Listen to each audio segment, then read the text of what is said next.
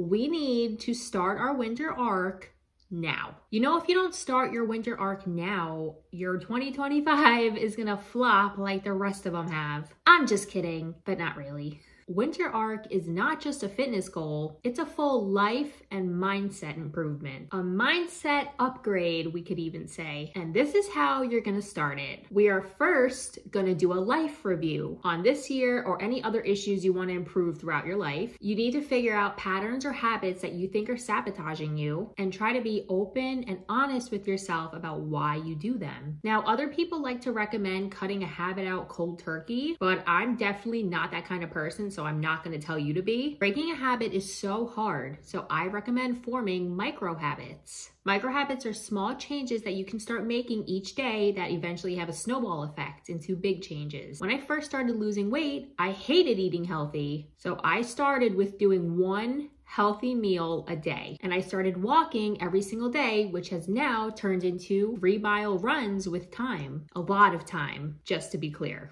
If you force yourself to an extreme and make yourself hate it, you're not going to stick with it. You're going to quit. So let's not do that. This is realistic advice. So, next thing we're going to do is identify our why. This is very important. Whether you want to start a business, improve your relationship with yourself, or improve your people skills, or any other goal you can think of, we're going to write down on a piece of paper somewhere you can see it every single day why you want to do this for yourself. Even make it a small mantra that you can remember easily. Because I remember in the beginning of my fitness journey when I was struggling on the Stairmaster, I remembered that this had to be a lifestyle change for my health. Fitness is not torture, it's a form of self love. And there are multiple ways to love yourself. After three years of going to the regular gym, I got really bored and started to hate fitness. I almost quit, in fact. That is when I stumbled into my first CrossFit gym. And oh man, did that reignite my passion for fitness. I was able to make friends, and now I absolutely love it, and I'll never consider quitting fitness again. You can apply these same methods to your goals. And if you need any help with it, I'm a life coach, so I can always assist you on any serious changes you want to make. My website is down below if you're interested. Lastly, we are going to get into the ultimate mindset